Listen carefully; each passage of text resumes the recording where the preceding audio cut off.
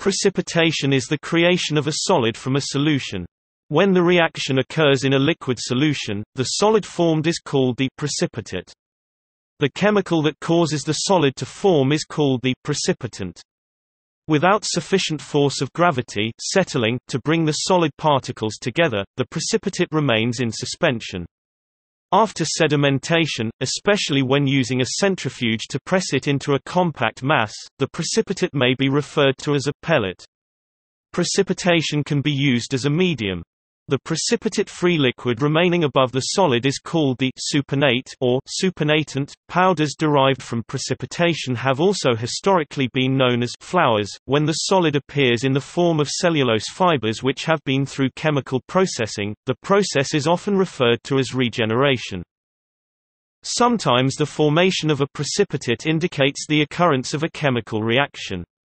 If silver nitrate solution is poured into a solution of sodium chloride, a chemical reaction occurs forming a white precipitate of silver chloride. When potassium iodide solution reacts with lead nitrate solution, a yellow precipitate of lead iodide is formed. Precipitation may occur if the concentration of a compound exceeds its solubility such as when mixing solvents or changing the temperature. Precipitation may occur rapidly from a supersaturated solution.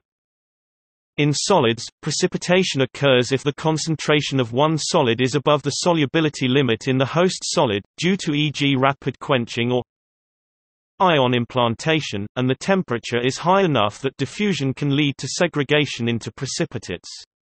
Precipitation in solids is routinely used to synthesize nanoclusters. An important stage of the precipitation process is the onset of nucleation.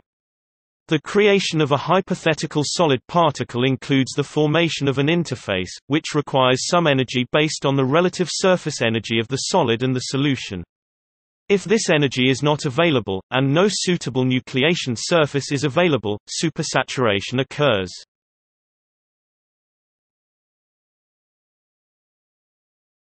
Topic: Applications.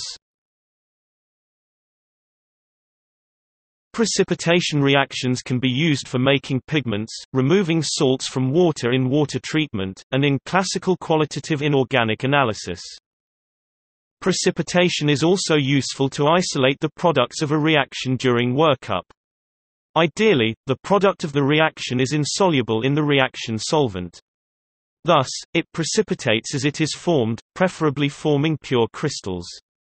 An example of this would be the synthesis of porphyrins in refluxing propionic acid.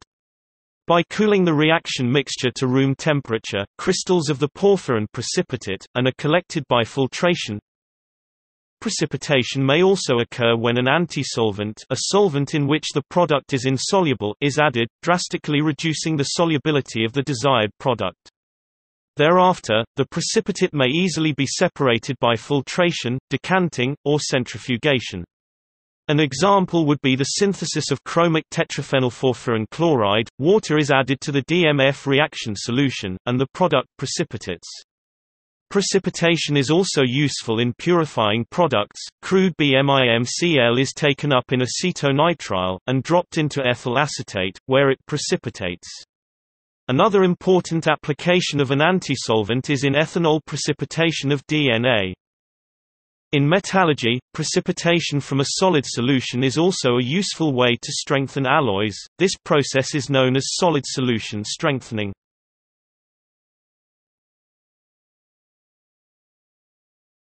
Topic: Representation using chemical equations An example of a precipitation reaction, aqueous silver nitrate, silver 1 nitrate is added to a solution containing potassium chloride KCl. The precipitation of a white solid, silver chloride, silver 1 chloride is observed. Zumdahl, 2005. Agno 3 plus KCl silver 1 chloride plus no 3 display style Ce silver 1 nitrate plus KCl to silver 1 chloride V plus KNO3 The silver chloride, silver 1 chloride has formed a solid, which is observed as a precipitate. This reaction can be written emphasizing the dissociated ions in a combined solution. This is known as the ionic equation. Ag plus plus no 3 minus plus K plus plus Cl minus silver 1 chloride plus K plus plus no 3 minus display style ce ag plus plus no3 caret plus k plus plus cl caret to silver 1 chloride v plus k plus plus no3 caret a final way to represent a precipitate reaction is known as a net ionic reaction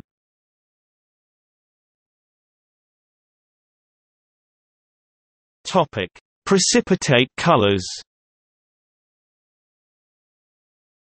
Many compounds containing metal ions produce precipitates with distinctive colors. The following are typical colors for various metals. However, many of these compounds can produce colors very different from those listed.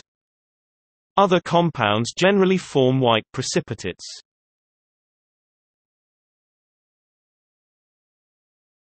Topic: Anion, cation analysis Precipitate formation is useful in the detection of the type of cation in a salt. To do this, an alkali first reacts with the unknown salt to produce a precipitate that is the hydroxide of the unknown salt. To identify the cation, the color of the precipitate and its solubility in excess are noted.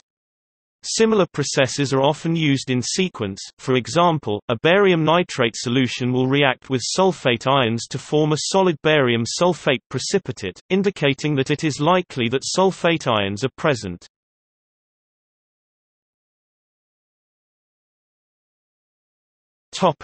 Digestion Digestion, or precipitate aging, happens when a freshly formed precipitate is left, usually at a higher temperature, in the solution from which it precipitates. It results in cleaner and bigger particles. The physico-chemical process underlying digestion is called Ostwald ripening.